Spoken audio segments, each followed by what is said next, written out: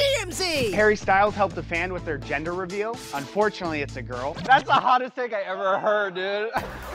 Tonight at 12:30